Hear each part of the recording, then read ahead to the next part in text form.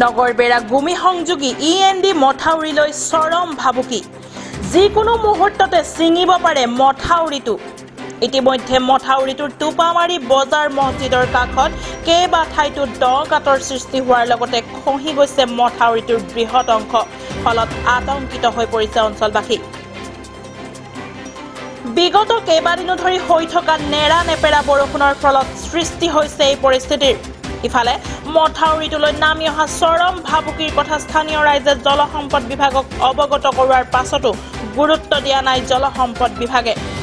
উল্লেখ্য যে মথাউৰিটোৰ দুয়োফালে ঘন জনবসতি অঞ্চল।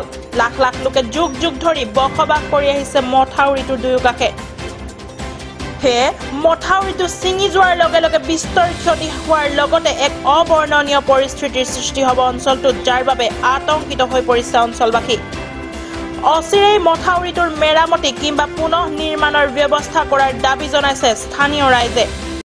আমাৰ এটাই আবেদন আমাৰ এই মথৰিখন এনেকুৱা এই নেৰানেপেৰা বৰষুণ আমপানৰ যি- প্ৰতিক্ৰিয়া হিচাপে যিটো বৰষুণৰ সৃষ্টি হ'ল তাৰ বাবে মথৰিৰ দুই ৰচীমান ফাকে ফাকেই এনেকুৱা ভয়াৱহ তাৰমানে গাৰাৰ সৃষ্টি হৈছে যে মথৰিটো কেতিয়াবা মানে কোন সময়ত ছিঙি যাব এইটো গেৰাণ্টি নাই।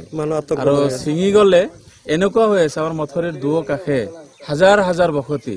এখন higher secondary school mini P H C বজাৰ পকা মছজিদ দাৰুল উলুম মাদ্ৰাছা আৰু বসতিসমূহ আছে।